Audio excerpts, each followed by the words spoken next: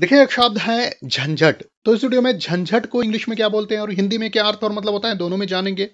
Example से sentences में शब्द को यूज़ करके अच्छी तरह से समझेंगे। तो चलिए वीडियो को स्टार्ट करते हैं और समझते हैं शब्द को। क्या मतलब होता है झंझट का?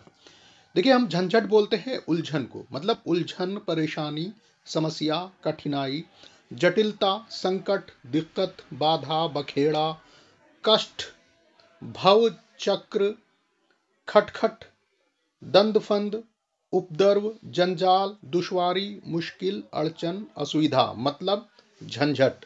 इंग्लिश में झंझट को बोलते हैं difficulty challenge worry worriment bother, bothration mess trouble problem issue toil toiling headache and etc मतलब और भी इंग्लिश में इसके वर्ड्स हो सकते हैं।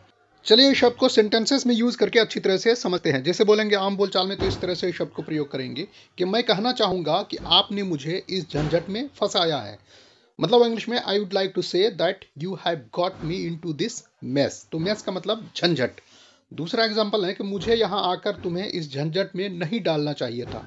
मतलब इंग्लिश में I should not have come here and got you into this mess ठीक है तो उम्मीद आपने झंझट शब्द को इंग्लिश और हिंदी में एग्ज़ाम्पल के साथ में अच्छी तरह से समझ लिया है। Thanks for watching Educare desk